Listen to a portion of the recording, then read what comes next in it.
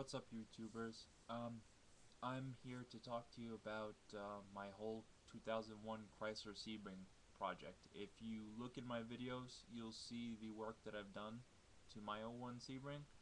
Um, before I get into detail and before I say anything, I'm going to tell you right now, if you have a Chrysler Sebring, um, a Dodge Stratus, Chrysler LHS. Uh, there are a lot of different Chrysler and, and Dodge um, platforms that came with this 2.7 liter.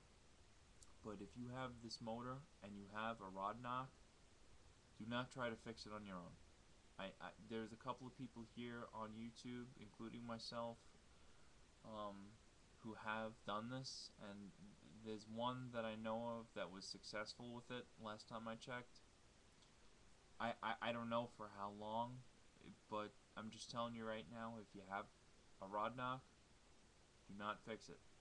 If you like the car a lot, take the engine out. There's there are rebuilders that you could find on eBay. Um, all the prices vary.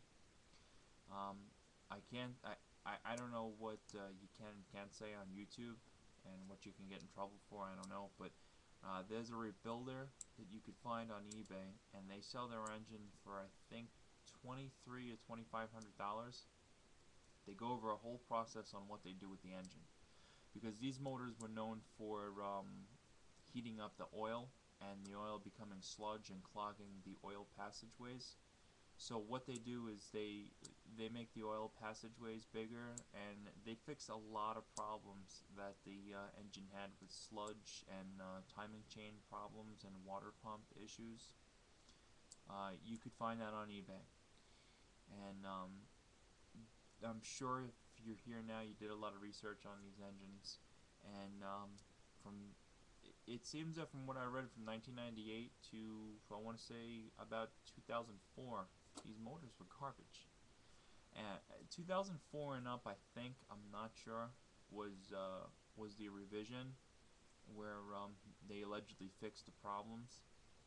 A lot of people, what they do is they just take the 2.7s out and uh, they swap the 2.7 for like a 3.5 liter. You know, the motors that you'd find in um, a two, like my grandmother's car, a 2001 uh, Chrysler 300M you know they would put that in there.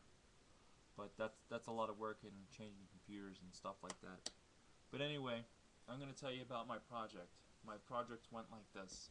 I got the 01 Sebring from a woman in her 60s the car's never been beat on. It's uh, been back and forth to Florida a couple of times and the car's been trashed once.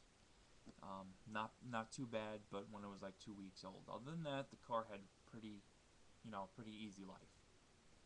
Car's in near mint condition, and uh, she gave me the car for free. And um, my mom kept telling me there's something wrong with it, and I figured I was getting a free, you know, good, nice, really nice free car. Because uh, I've gotten many free cars before, but they were all junk. And um, when I put a battery in this and started it up, that knock was there. It was a mild rod knock. It took away a lot of power from the car, but it was mild.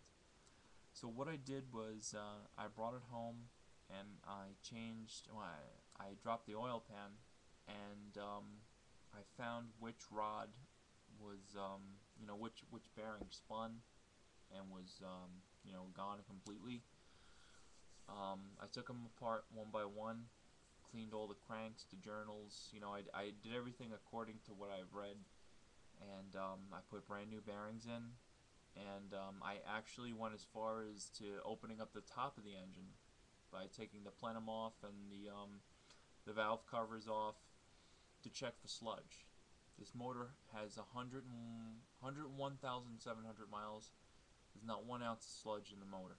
So I can't I can't think of why the bearings failed. But I replaced all the bearings. I checked the water pump. Water pump is not leaking. Um, I, I checked the uh, the timing belt tensioner. It was out just a tiny bit like this. There's really it, there's really no reason for the motor to have failed.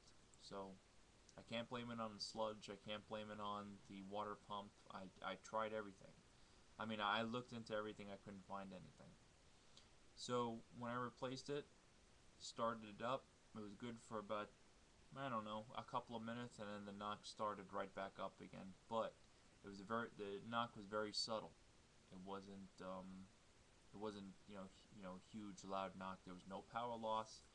But the only different the only difference was when I drove it on high RPMs, you would hear the knock pretty loud. But while the engine was under load, you wouldn't hear it, and um, it was good. I put about 360 miles on the car before it finally went. And what I mean by went is the knock came back so loud that if I drove it any further, it would probably blow up and throw a rod right through the block. And I really didn't want that. Um, I think that the motor would still be running the way it was if I haven't uh, haven't put Marvel Mystery Oil in. I put almost a whole bottle in, and I, I don't think I should have done that but I was so bent on making that rod knock go away, I think that's what killed it.